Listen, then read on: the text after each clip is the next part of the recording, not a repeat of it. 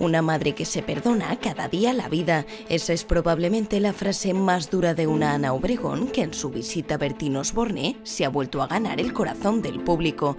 La actriz ha dado toda una lección de amor, de amor hacia su hijo Alex, al que tristemente la vida le arrebató, y la reacción ha sido en masa. Todos son piropos hacia la bióloga más famosa de la televisión. Ahora bien, son muchos los que han comparado esta estampa con la de Rocito, haciendo que los piropos también hayan derivado en críticas hacia una Rocío Carrasco que parece lanzar el mensaje opuesto al de Ana Obregón hacia su familia. Los tweets como Rocito estarás avergonzadita viendo a Ana Obregón se repiten sin parar. Los hay incluso más duros y es que son muchos los que comparan ambas situaciones, la de una madre muerta en vida por la marcha de su hijo y la de una Rocío Carrasco que no mueve un solo dedo para estar junto a ellos.